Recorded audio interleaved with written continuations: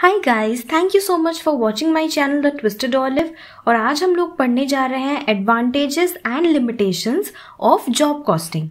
so job costing का जो first advantage है, वो ये है कि एक डिपार्टमेंट में अगर एक पर्टिकुलर जॉब का प्रोडक्शन चल भी रहा है या कोई एक पर्टिकुलर प्रोडक्ट बन भी रहा है, फिर भी हम जब चाहे तब डेली वीकली और जब भी हमारा मन करे तब हम लोग उस पर्टिकुलर जॉब या प्रोडक्ट का जो मटेरियल कॉस्ट लेबर कॉस्ट और ओवरहेड कॉस्ट है वो हम लोग उसी पॉइंट ऑफ़ टाइम पर निकाल सकते हैं। उसी पॉइंट ऑफ़ टाइम पर हमारे पास अवेलेबल होता है। जैसे कि ये आ, ये प्रोडक्ट बन रहा है और ये कंप्लीट नहीं हुआ है। स्टिल आज के डेट तक में या फिर आज के एक पर्टिकुलर डे में इसमें कितने अमाउंट का मटेरियल यूज़ हुआ है, इसमें कितना लेबर खर्चा हुआ है, कितना ओवरहेड हम लोगों ने यूज़ किया है, वो हम लोग जान सकते हैं, वो हम लोग आइडेंटिफाई कर सकते हैं। सेकेंड पॉइंट में बोल रहा है कि जब एक जॉब कंप्लीट हो जाता है तो the cost under each element is immediately ascertained जैसे ही हमारा जॉब कंप्लीट हो जाता है, हम लोग तुरंत ही हर एलिमेंट का कॉस्ट जो है, वो हम लोग इमीडिएटली एसरटेन कर सकते हैं which is not possible in case of batch costing या फिर प्रोसेस कॉस्टिंग या फिर ऑपरेटिंग कॉस्टिंग लेकिन जॉब कॉस्टिंग की खासियत ये है कि ये हम लोग तुरंत ही निकाल सकते हैं। थर्ड पॉइंट में बोल रहा है, क्योंकि हम लोग जॉब कॉस्टिंग में जो हम लोग नंबर ऑफ़ यूनिट्स प्रोड्यूस करते हैं, वो बहुत ही कम होता है, बहुत ही नॉमिनल होता है। तो उस केस में क्या है, हम लोग किसी भी प्रोडक्ट का जो हिस्टोरिकल कॉस्ट होता है पास्ट पीरियड्स के लिए, उसको लेकर हम लोग नया प्राइस कोट कर सकते हैं फॉर दैट स्पेसिफिक जॉब जैसे कि कितना हम लोग ऑर्डर्स और डिपार्टमेंट्स और मशीन्स ये सारे स्टैटिस्टिक्स को कंपाइल करके एक फ्यूचर के लिए एक प्रोडक्शन प्लानिंग कर सकते हैं। और वैसे ही सिमिलर टाइप के जॉब को कंप्लीट करने के लिए हमें कितना कॉस्ट इनकर करना पड़ेगा, ये भी हम लोग इजीली असरटेन कर सकते हैं। जो नेक्स्ट पॉइंट है पॉइंट नंबर डी उसमें बोल रहा है the adoption of predetermined overhead rates in job costing necessitates the application of a system of budgetary control of overhead with all its advantages. ये बोल रहा है कि जैसे हम लोगों ने यहाँ पर पढ़ा था लास्ट क्लास में कि जो हम लोग ओवरहेड का कॉस्ट है, वो हम लोग जॉब कॉस्टिंग के केस में कंट्रोल नहीं कर सकते हैं। तो हम लोग जब उसका बजटिंग करते हैं एक पर्टिकुलर जॉब के लिए उसका जब हम लोग बजटिंग करते हैं तो उस केस में हम लोग क्या करते हैं? प्री डिटरमाइंड ओवरहेड रेट्स को हम लोग यूज़ करते हैं। सो so, जैसे कि यहाँ पे हम लोग एक एग्ज़ाम्पल ले सकते हैं। फॉर एग्ज़ाम्पल दिस अगर हमें हमारे पास ऑलरेडी डेटा अवेलेबल है कि ऐसा ही सिमिलर एक मूर्ति बनाने के लिए पास्ट रिकॉर्ड्स के हिसाब से पास्ट पीरियड में हमें कितना ओवरहेड हमारा यूज़ हुआ था कितना ओवरहेड हम लोगों ने खर्चा किया था। तो हमारे लिए इसका जो ओवरहेड का कॉस्ट है उसको एसरटेन करना हमारे लिए इजी हो जाएगा।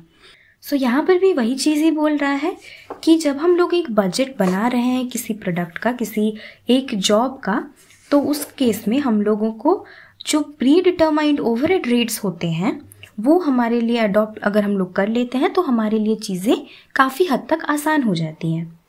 फिफ्थ पॉइंट में बोल रहा है द एक्चुअल ओवर कॉस्ट हाँ ये वाला पॉइंट बोल रहा है कि जब आप एक्चुअल ओवर कॉस्ट के साथ हमारा जो प्री डिटरमाइंड ओवर रेट्स हैं उसको जब आप कंपेयर करते हैं तो उस केस में उस पर्टिकुलर अकाउंटिंग पीरियड के लिए जितना भी आपका वेरिएंस आएगा ओवरहेड का वो हम लोग एनालाइज कर सकते हैं। जैसे कि लास्ट अकाउंटिंग पीरियड में हमें uh, इतना हुआ था और इस साल हमें उससे थोड़ा ज़्यादा हो रहा है या थोड़ा कम हो रहा है तो वो या तो फेवर में जा रहा है या फिर एडवर्स में जा रहा है ये हम लोग इजीली यहाँ पर देख सकते हैं। नेक्स्ट पॉइंट में बोल रहा है spoilage and defective work can be easily identified with specific jobs और प्रोडक्ट्स क्योंकि यहाँ पे हम लोग नंबर ऑफ़ यूनिट्स कम बना रहे हैं तो हमारे लिए जो भी डिफेक्टिव वर्क होता है या फिर जो भी थोड़ा बहुत वेस्टेज या स्पॉयलेज हो जाता है वो हमारे लिए आइडेंटिफाई करना बहुत ही ज़्यादा ईजी रह जाता है। सो so, यहाँ पे हमें नेक्स्ट पॉइंट में बोल रहा है job costing is particularly suitable for cost plus and such other contracts where selling price is determined directly on the basis of cost. क्योंकि हम लोग जॉब कॉस्टिंग में एक ही पर्टिकुलर चीज़ के लिए हम लोग उसका कॉस्टिंग कर रहे हैं एक ही यूनिट के लिए कर रहे हैं तो हमें पता है कि इसका कॉस्ट कितना है। तो कॉस्ट के ऊपर हम लोग इजीली एक सर्टन परसेंटेज ऑफ़ प्रॉफिट डाल के उसका सेलिंग प्राइस डिटरमाइन कर सकते हैं। सो so, ये जो एडवांटेजेस हैं इसको आपको रटने की कोई ज़रूरत नहीं है। दीज आर कॉमन सेंस इसमें बस ये एक पॉइंट है विच इज़ आपको याद रखने की ज़रूरत है। बाकी सब अपना कॉमन सेंस ही है। अगर आप इसको विजुअलाइज करेंगे अच्छी तरह से तो ये आपको आसानी से याद रह जाएगा। नेक्स्ट पॉइंट है नेक्स्ट टॉपिक है हमारा लिमिटेशंस ऑफ़ जॉब कॉस्टिंग हम लोगों ने एडवांटेजेस देख लिया, अब हम लोग देखने वाले हैं what are the limitations first limitation क्या बोल रहा है? बहुत ज़्यादा एक्सपेंसिव है। ऑब्वियसली एक्सपेंसिव है। क्योंकि एक यूनिट के लिए अगर हम लोग उसका सारा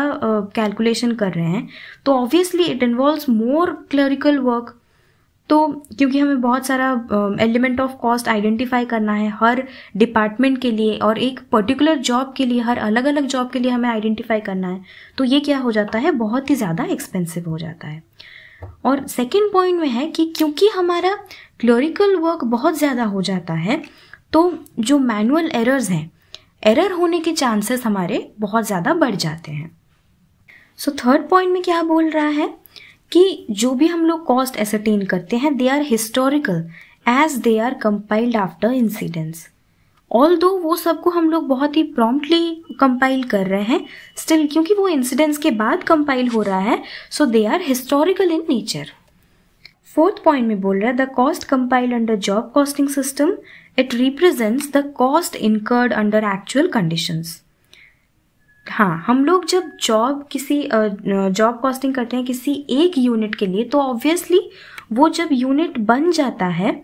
वो उसके एक्चुअल कंडीशंस को देखकर ही हम लोग उसका कॉस्टिंग करते हैं। तो ये जो सिस्टम है it does not have any scientific basis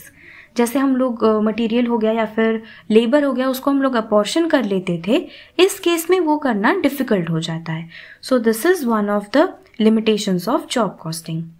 I hope आपको ये छोटा सा क्लास पसंद आया होगा और जो भी एडवांटेजेस ऑफ़ जॉब कॉस्टिंग है और लिमिटेशंस ऑफ़ जॉब कॉस्टिंग है, ये आपको अच्छे से समझ में आ गया है। ये वीडियो को लाइक करिए, अपने दोस्तों के साथ शेयर करिए और मेरे चैनल द ट्विस्टेड ऑलिव को सब्सक्राइब करिए।